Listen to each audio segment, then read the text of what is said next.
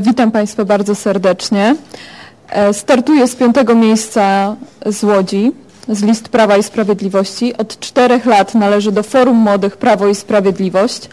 Przez ten okres e, miałam okazję działać na rzecz środowisk studenckich. Współtworzyłam Obywatelski Komitet Inicjatywy Ustawodawczej Student 49. Również później postulowałam wraz z szerokim środowiskiem studenckim o to, by nie wprowadzać odpłatności za drugi kierunek studiów. Naszym zdaniem jest to bardzo szkodliwy zapis, e, w szczególności dla osób, które chcą się kształcić, które chcą zdobywać nowe kompetencje. Ponadto przez ten cały okres stworzyliśmy wspólnie Forum Młodych e, dwa programy. Inwestycja w przyszłość w 2009 roku, jak i Szansa dla Młodych w 2011.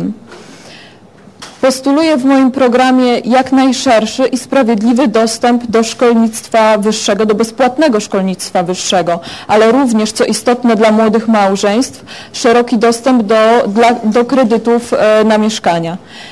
Postuluję również w moim programie zreformowanie systemu stypendialnego. Dziękuję.